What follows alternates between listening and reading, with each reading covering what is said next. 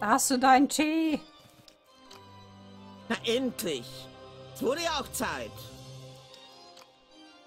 Dummes Ki... Ki... Ki...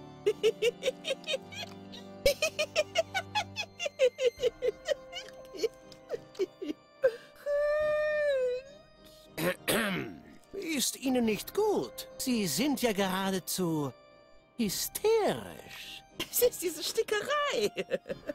Sie erinnert mich an meine Zeit.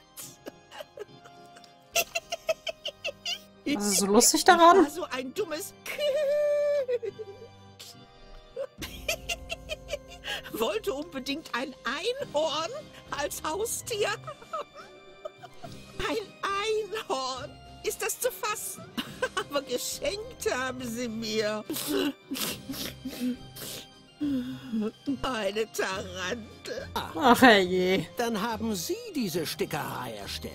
Zotti starb während meines Versuchs, ihr mit einer Nagelpistole ein Horn in die Stirn zu tackern. Ich war ein so dummes Kühl. Ich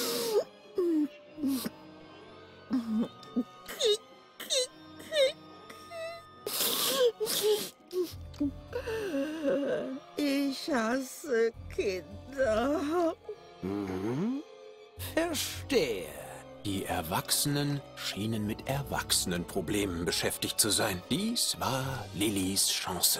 Ja, abzuhauen. Willst du vielleicht noch weiterreden? Ihm noch mehr sagen? Ich meine, er ist Psycho... Na gut, er war eher der Leiter von der Anstalt. Aber ist trotzdem Psychotypi. Psychotypi, genau. Ich geh da mal, ne?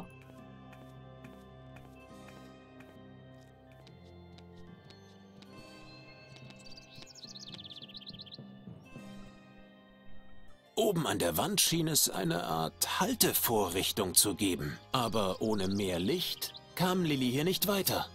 Ja, aber das Problem, wenn wir Fackel anzünden wollen, dann kommt Harvey angerannt und sagt, nein, nein, nein, das darfst du nicht machen. Hallo Lilly, du willst doch nicht etwa mit dem Feuer spielen? Oder? Ach, natürlich willst du das nicht. Das hat die Oberin doch verboten. Irgendetwas Seltsames geschah hier. Ja, sehr seltsam. Darf ich jetzt zum Treppenhaus? Weil anders komme ich nicht. Nee. Warum sollte Lilly nach Geheimtüren suchen? Immerhin kannte sie bereits zwei andere Wege in Garretts Geheimraum. Warum müssen wir hier gleich nochmal rumstehen? Wir sollen verhindern, dass das Kind versucht, vor der Therapie zu flüchten. Wenn möglich mit Gewalt. Hast du deine Taserpistole noch? Na klar. Nein. Andererseits hatte Garrett bisher selten daneben gelegen. Lilly würde es auf seine Weise probieren. Ach nee, warte. Ich weiß, ich glaube wieder, was ich machen muss. Harvey! Du sollst Erwachsenen nicht widersprechen.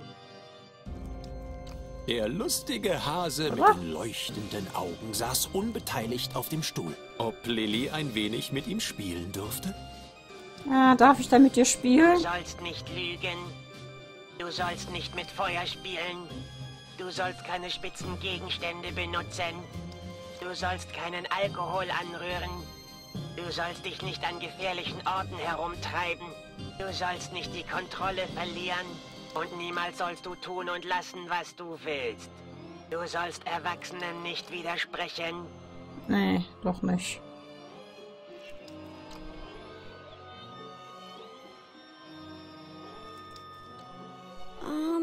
Gemacht, Lilly. Ich habe alles gehört, was ich hören wollte. Die Oberin ist offenbar vollkommen gaga. Ich hatte schon so etwas vermutet. Jetzt schnell, komm zu mir in den Geheimraum. Es gibt eine geheime Tür in der dunklen Ecke vor dem Büro, direkt neben dem Außenkamin. Ach, verdammt. Du kannst natürlich kein Licht machen, weil du nicht mit Feuer spielen darfst. Das hatte ich ganz vergessen. Einen Moment. Lass mich nachdenken. Ich glaube, ich habe eine Ja, Idee. es nach. gibt keine Möglichkeit, eine durch Hypnose installierte Blockade zu durchbrechen. Es sei denn, du wirst erneut hypnotisiert. Es ist riskant, aber du könntest dich selbst in Trance versetzen, um die Blockade direkt in deinem eigenen Unterbewusstsein zu bekämpfen. Aber sei gewarnt, die Welt der Trance ist ein unheimlicher Ort. Wie ein paralleles Universum, das nur in deinem Kopf existiert. Sie ohne die Führung eines geschulten Hypnotiseurs zu durchwandeln, ist nicht ganz ungefährlich. Und die Blockaden, die der Doktor dir auferlegt hat, müssten dort mächtige Dämonen sein, die du nur im geistigen Zweikampf besiegen kannst. Hast du alles verstanden? Das musst du auch nicht. Noch nicht. Noch nicht, Benutzt ja. einfach die Puppe, um dich selbst zu hypnotisieren. Und sobald du in Trance bist, suche den inneren Dämonen, der dich am Feuer machen hindert. Und vernichte ihn. Zerstörung. Ja, jetzt musst du mit Harvey interagieren. Chick macht mal wieder alles zu früh. Du sollst nicht mit Feuer spielen. Boogie. Aber Little Inferno. Little Inferno, Little Inferno. Boogie. Brennt alles so schön. Lilly hatte sich mit Hilfe des Hasen wieder in die Welt der Trance versetzt. Auf den ersten Blick wirkte hier alles fremd und seltsam. Vollkommen alleingelassen kauerte sie in einer kalten Höhle, die von dem riesigen Auge der Oberin argwöhnisch beleuchtet wurde. So groß war der Unterschied zur Realität also gar nicht. Ich werde beobachtet. Ich kann es spüren. Um es mal mit den Worten der NPCs aus Morrowind auszusprechen. Diesen Staring Contest würde Lilly verlieren. Definitiv. Eine Keule, ein Korden. Was war da noch? Jetzt noch raus.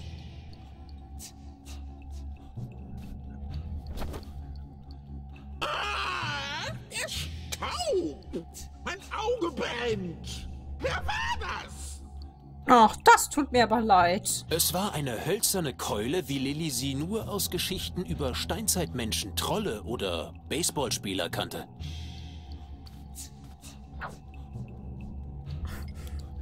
Du verträgst keinen Staub? Hier hast du noch mehr Staub. Oh, wie das brennt!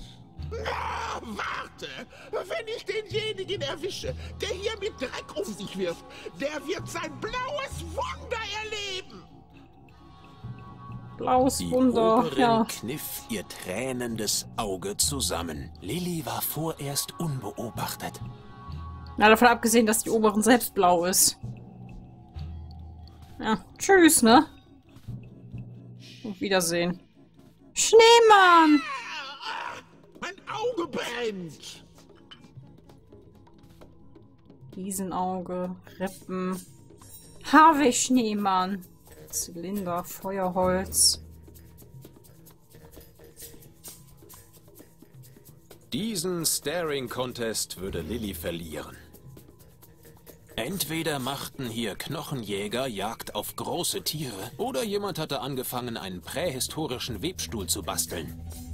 Hm, Das letztere, das erstere würde ja gar keinen Sinn ergeben. Lilly hatte eigentlich genug Rippen. Man konnte sie gut zählen. Aber die Oberin hatte es verboten, weil es ihr den Appetit verdarb. Ja, sieht doch widerlich aus. Aber mitnehmen will sie sie nicht, ne? Aber hast trotzdem hier so ein Interagierungssymbol mit Händchen. Ein echter Zylinder. Lilly war platt. Hey, Finger weg. Ich brauche den Zylinder. Wenn du ständig mit einer Glatze in der Kälte rumstehen müsstest, würdest du das verstehen. Lilly wollte ja nicht pingelig wirken, aber dies war wohl kaum der geeignete Platz für einen Schneemann.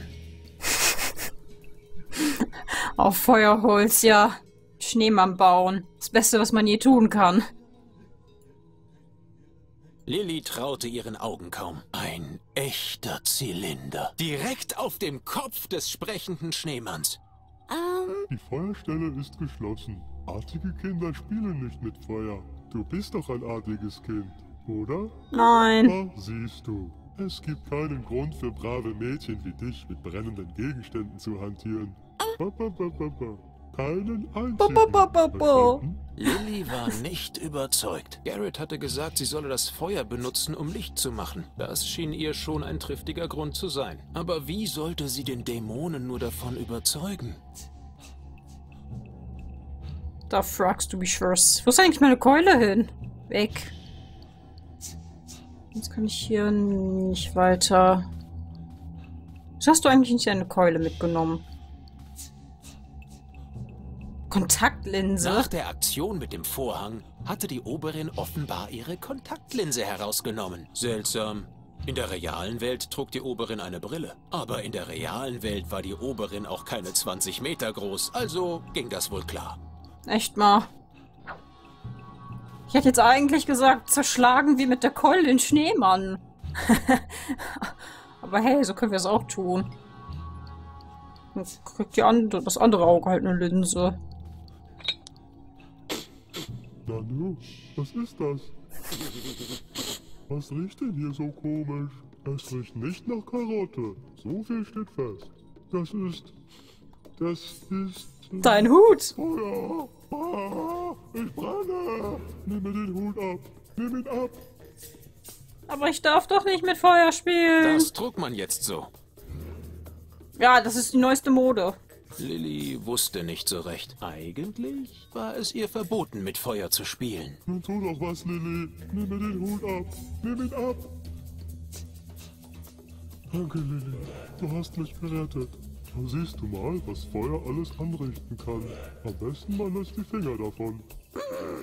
Lilly war ein wenig zerknirscht. Der Schneemann schien gar nichts gelernt zu haben.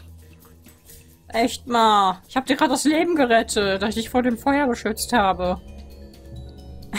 Brenne dafür auf dem Was soll das Scheiterhaufen. denn jetzt werden? Hey, lass das. Nein, nicht.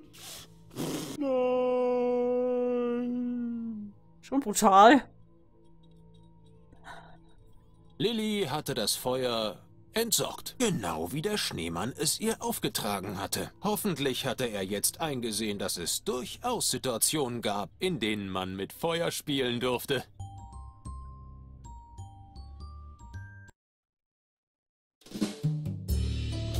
Damit hätten wir unsere erste Blo Blockade aufgehoben. Brennender Harvey. ja.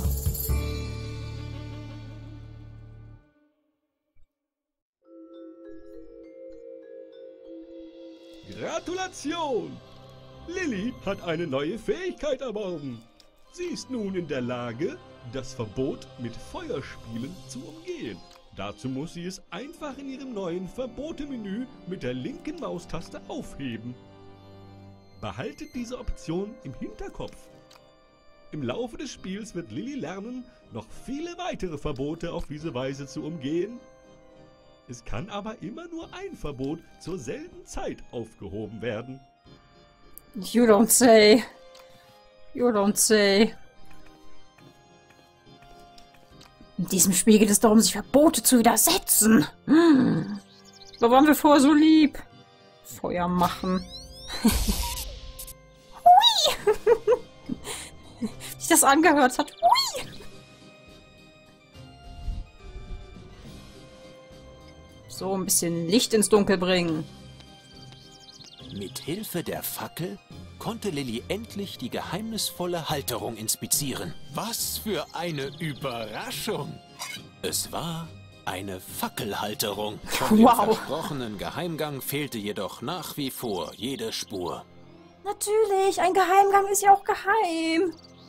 Dunkle Ecke, die jetzt hell ist, ja. Irgendwo hier musste diese Geheimtür sein. Einfach gegentreten, wird schon irgendwie öffnen. Irgendwo hier musste diese Geheimtür sein. Oder auch nicht. Fehlt mir noch irgendwas? Oder... Irgendwo.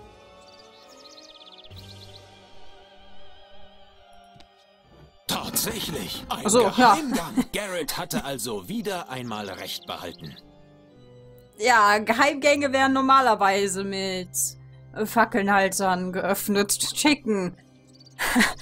Hast du aus anderen Spielen überhaupt nichts gelernt? Zum Beispiel Skyrim, hä? Da gab's ja auch sowas. Ach, Chicken, das sind doch die Klischees. Klischees, ja. Hm, aber ich würde sagen, wir sind in der nächsten Aufnahme. Es ist wieder mal keine freie Nacht. Wenn wir durch die geheime Tür gehen und keine Ahnung, was Garrett mit uns vorhat.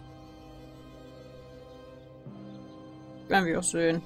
Was wir auf jeden Fall vorhaben, mit Ednas Karte zu Ednas Versteck gehen. mit Edna reden. Hoffentlich. Mal sehen. Mal sehen, mal sehen. Aber erst in der nächsten Session. Also bis dahin, ciao.